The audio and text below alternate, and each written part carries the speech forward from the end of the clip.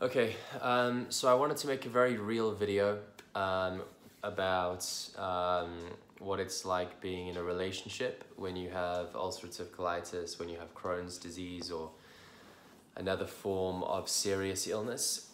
Um, and uh, when I say real, like, I think sometimes what people don't see um, when you uh, when you watch a video and you know someone one of these gurus is telling you about the way they've cured themselves, the way they've overcome their disease, uh, it it really focuses on the positives um, and the steps that you can take to to to overcome the disease yourself and sort of a you know they uh, they might show you a sort of a before image um, and then they basically talk about all these positive steps that they've taken and how their life is so wonderful now. And uh, but it's um, I wanted to talk about the relationships aspect. So for anyone who's who's in a relationship um, and has ulcerative colitis, or perhaps someone who is in a relationship with someone who has a disease like that um, it's it's really very difficult. Um, it's difficult for the person who has the disease, and it's difficult for the person who's in a relationship with the person who has the disease. So, like the the person who has the disease um, is obviously going through hardship in terms of you know the physical pain and stuff. And my dog's about to knock my camera over. Um, but you know the the person who's going through the Woody no. Uh, the the person who's going through the disease um, has a lot of you know uh, physical pain and emotional pain and the physical pain may lead to poor sleep the it may lead to um, you know bad mood lack of energy irritability. Um, that person's going through um, the sort of is enduring the the sort of uh, direct impacts of, of the disease itself.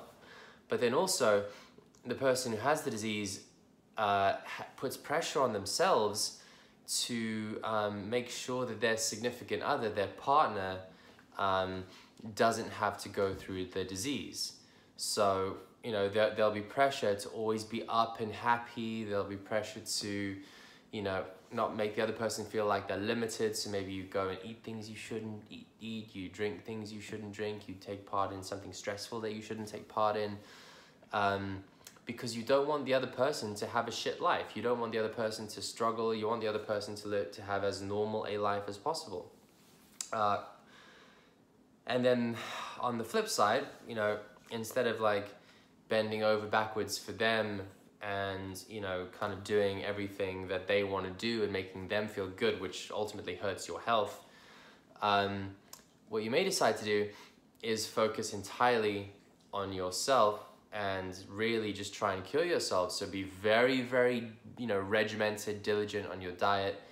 Um, be very diligent in, on your, your lifestyle, whether it's that you wake up and you meditate or whatever it is, you know, you, you may kind of become almost orthorexic and kind of obsessed with, you know, eating certain foods, doing certain things, breathing in a certain way, whatever it is, um, with a view to cure yourself and that can sometimes come across as very selfish to the to the other person and it can have a big impact on their quality of life.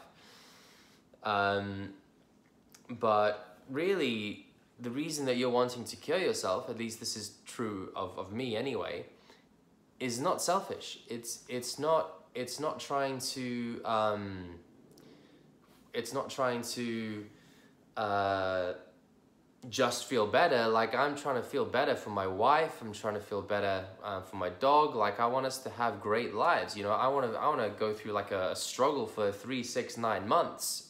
Um, and then for the next 60 years have the most amazing life possible right? You know that's the, that that's that's that's my goal. And my goal is to give my wife and my dog and my future kids the, the best life that I can possibly give them. And the only way I can do that is by being healthy, right? The only way that I can do that, the only way that we can have a somewhat normal life is if I'm healthy, is if I'm able to go and do the things that I and they want to do, you know? Um, but it's very difficult to have that conversation with someone um, and to really make your partner feel like the actions that you are taking um, are not selfish.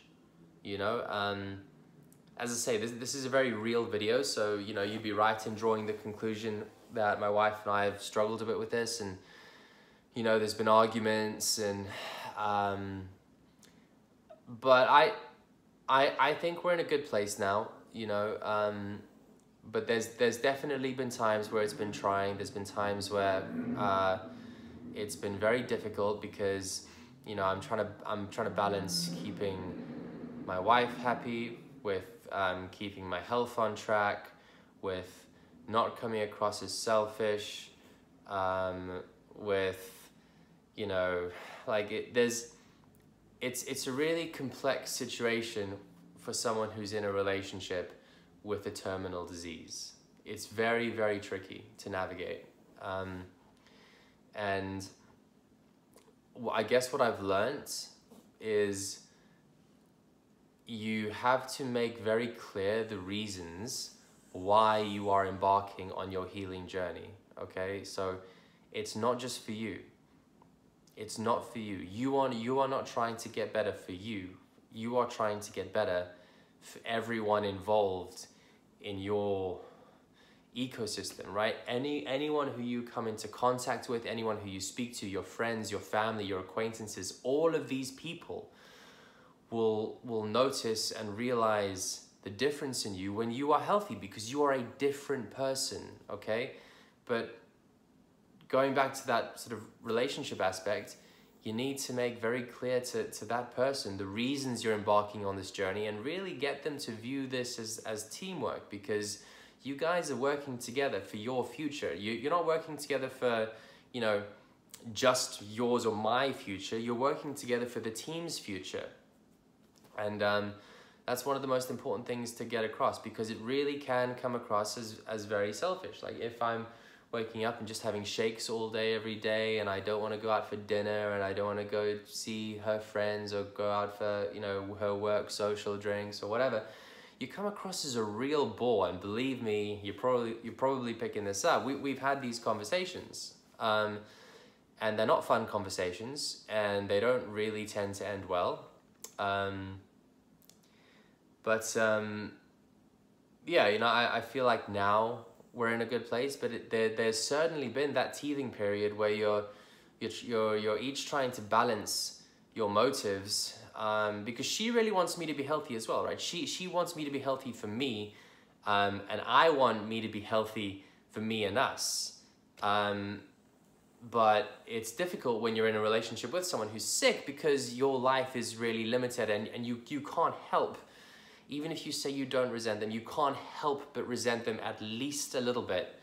Um, and if you're suffering, if you're sick, that's something you just have to accept, right? That that person will have resentment towards what's going on, right? And they may say, "Oh, it's not you I hate; it's your disease I hate." Um, but you will still take that personally, and you know it's it's something that you just have to accept. You know, you you you need to make sure that you guys have a very open and honest discussion about the healing journey that you guys are on um, because you are a team and your health is your family's health, uh, your health is your friend's health. Um, you are going to perform better in every situation as a healthy person, and that is going to rub off on everyone who you come into contact with. Um, so just make sure like expectations are managed. Um, about uh, about the reasons that you guys are getting into this together. Um, uh, so that's it. Um, like I say, that's that's kind of a, a, real video. I didn't really know exactly where I was gonna go with where I was gonna go with it. I just wanted to talk about the relationship aspect because it's it's a tough one. It's it's complicated. It's it's emotional. Um, but uh, yeah, so anyway, I'm going to be posting um, in the coming few days and weeks um, on the diet that I'm following now. Um, for those of you who've seen my previous videos, my healing journey's come a very, very long way.